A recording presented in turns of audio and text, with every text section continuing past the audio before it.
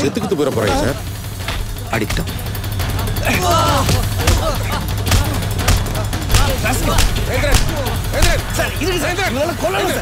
பொறுமையா இருங்க. பொறுமையா இருங்க சார். பொறுமையா இருங்க. யாருன்னு தெரியலடா அன்னைக்கு ரயில்வே ஸ்டேஷன் குழந்தை ஆக்சிடென்ட் பண்ணீங்களா அந்த குழந்தையோட அப்பா. அந்த குழந்தைக்கு சீரியஸ் ஆகி ஆபரேஷன் இருபது லட்ச ரூபாய் பணம்ன்றக்காக இருக்கிற ஒரு வீட்டை வந்து பணத்தை எடுத்துட்டு வந்தா அந்த பணத்தை எடுத்துருக்கீங்களா எங்கடா வச்சிருக்கீங்க? சொல்லுங்கடா. எங்கடா வச்சிருக்கீங்க பணத்தை? சொல்லுங்கடா. சார் அக்யூஸ்ட் என்னைக்கு சார் உண்மை சொல்லிருக்காங்க கண்ணு எடுத்து வந்து ரெண்டு பேத்தையும் பொட்டு பொட்டு சுட்டு போசுங்க சார் அப்பதான் உண்மையை சொல்லுவாங்க. சொல்லுங்கடா எதுவுமே தெரியாது சார். நான் வேணா சைடுக்கு ஃபோன் பண்றேன் சார். அவன் என்ன பேசுறான்னு போடுறா, நீங்களே கேளுங்க. சார். ஸ்பீக்கர் ஆன் பண்றா. டேய் எங்கடா போனீங்க இவ்வளவு நேரமா? ஹலோ சேட்டு.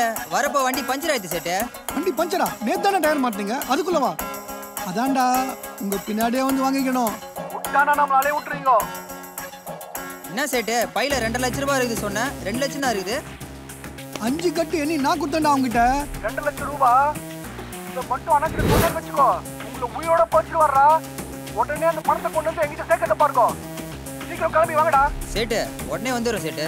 சார் இப்பயாச்சும் எங்களை நம்புங்க சார். நாங்க எதுவும் பண்ணல சார். ஆமா சார். டேய் நீங்க ரெண்டு பேரும் அரிச்சந்தடா சார், உங்க நம்புறதுக்கு? சார். கன் எடுத்து போட்டு தள்ளுங்க சார் இந்த பசங்களை. இவங்களை விடக்கூடாது sir sir. Palani. Sir.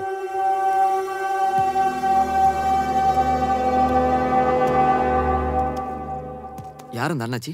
Ezhumalai sir. ஏழு? எந்த எலுமலை மயிலாப்பூர் ஏழுமலை சார். என்னது? மயிலாப்பூர் ஏழுமலையா? ஆமா சார். நல்லா தெரியுமாடா மயிலாப்பூர் ஏழுமலைன்னு? எல்லாம் தெரியும் சார். சார் யாருன்னு தெரியுதா? உங்களால தான் அவன் ஏன் உங்களை சுத்தியே வர்றான்?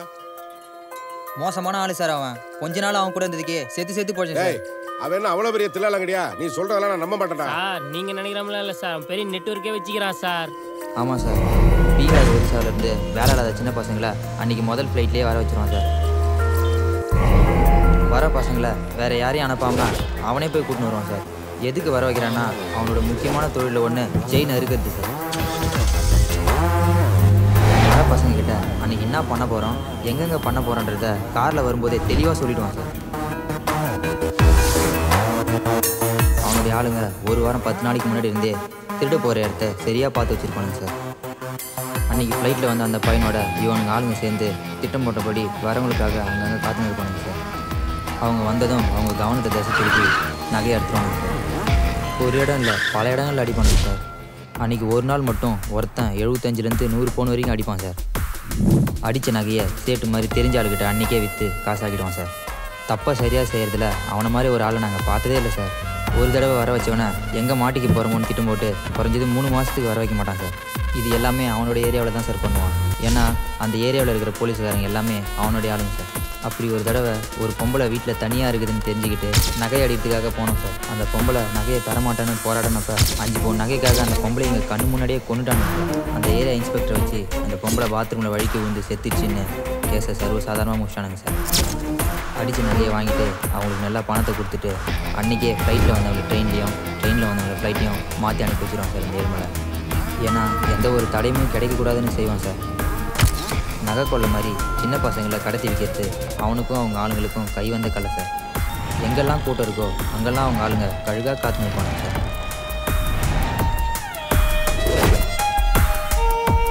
குழந்தையோட வந்தவங்க கண்ணை சேர நேரத்தில் அந்த குழந்தைய தூக்கிடுவாங்க அஞ்சு நிமிஷத்தில் குழந்தை அந்த ஏரியாவிலே இருக்காது. கொண்டு போய் நல்ல விலைக்கு விற்றுவானுங்க சார். இந்த மாதிரி வேலையெல்லாம் ஏழுமலை நடுத்தர மக்கள்கிட்ட மட்டும்தான் சார் பண்ணுவோம். ஏன்னா அவங்க தான் போலீஸ்காரங்க கிட்ட போராட முடியாமல் கொஞ்ச நாள்லயே விட்டுடுவாங்க. அதை இவன் சாதகமாக்கிக்குவான் சார். அவன் கூட இருந்த வரைக்கும் தினமும் நாங்கள் செத்து செத்து போயிட்டோம் சார். ஒரு சின்ன தப்பு பண்ணதுக்கு எங்களை போட்டு தள்ளுறோன்னு மிரட்டினான் சார். அதுக்கு பயந்துக்கின்னு அவன் கண்ணில் படாமல் தெரிஞ்சோம் சார். ஏதோ வயிற்று பொழப்புக்காக சேட்டு சொல்கிற வேலையெல்லாம் செஞ்சோம். ஆனால் சேட்டு சாதாரணமான இல்லை சார். அவனும் ஒரு பெரிய குரூப் வச்சுக்கிறான். யாராவது நகையை வச்சுட்டு பணத்தை வாங்கிட்டு போனால் அங்கே இருக்கிற ஏரியா ஆட்டோக்காரங்களுக்கும் எங்களுக்கும் உடனே சொல்கிறோம் சார். நாங்களும் அந்த பணத்தை அடிச்சுன்னு போயிட்டு அவங்ககிட்ட கொடுப்போம். எங்களுக்கும் ஏதோ கொஞ்சம் கொடுப்போம். நாங்கள் அதை செய்கிறேன்னு சொன்னால் ஏழுமலை பேரை சொல்லி மிரட்டியே எங்களை செய்ய வச்சுருவோம் சார். வேறு வழி இல்லாமல் நாங்களும் பயந்துக்கிட்டு அவங்க சொல்கிறதெல்லாம் செஞ்சுட்ருக்கோம் சார். அப்படி ஒரு தடவை பணத்தை அடிச்சுட்டு வரும்போது தான் உங்கள் குழந்தை மேலே தெரியாமல் இருக்கும் சார். எங்களை மன்னிச்சிடுங்க சார். சேட்டு எங்களுக்கு கொடுத்த முப்பதாயிரத்தையும் நெல்லூரில் அப்படி இப்படின்னு ஜாலியாக செலவு பண்ணிட்டோம் சார். ஏழுமலை வேற என்னென்ன பண்றான்? அவன் கூட வேற யாரெல்லாம் இருக்காங்க? எல்லாரும் எங்களை மாதிரி பசங்க தான் சார். ஆனால் மொட்டை ரவின்னு ஒருத்தன் மட்டும் ஏழுமலை கூட ரொம்ப வருஷமாக இருக்கிறான் சார். எந்த ஒரு விஷயமா இருந்தாலும் அவங்ககிட்ட தான் சொல்லுவான் செய்வான். ரெண்டு பேரும் எத்தனை வருஷமாடா இருக்கீங்க அவங்க கூட? ஒரு ரெண்டு ரெண்டரை வருஷம் இருந்தோம் சார். ஆமாம் சார். அவன் கூட இருந்த வரைக்கும் நரகம் தான் சார். வேற ஏதாவது அவனை பத்தி உங்களுக்கு தெரியுமாடா? சார் எங்களுக்கு தெரிஞ்ச வரைக்கும் எல்லாத்தையும் சொல்லிட்டோம் சார். ஆனால் ஏழுமலை முன்ன மாதிரி இல்லை சார். முன்னெல்லாம் சென்னையிலேருந்தே எல்லா ஊருக்கும் போய் எல்லா வேலையும் செஞ்சுன்னு இருந்தான் சார். இப்போல்லாம் என்னன்னே தெரியல. சென்னையை விட்டு போகிறதே இல்லை சார். சார் ரொம்ப வருஷம் கழிச்சு அவனுக்கு ஒரு பொன் குழந்தை பிறந்தது சார். அந்த குழந்தைனா அவனுக்கு ரொம்ப உசுறு சார். அதை கொஞ்சம் கொஞ்சம் கொஞ்சம் தாங்கு தாங்கு தாங்குவான் சார். அந்த குழந்தைய சிட்டிலேயே பெரிய ஸ்கூலில் படிக்க வைக்கிறான் சார். சார் காலையில் அவனே ஸ்கூலுக்கு கூட்டு போவான் சார். சாயங்காலம் அவனே போய் கூட்டின்னு வந்துடுவான் சார். அந்த குழந்தை மேலே அவ்வளோ உயிர் சார். அந்த குழந்தை இல்லாமல் ஒரு செகண்ட் கூட இருக்க மாட்டான் சார்.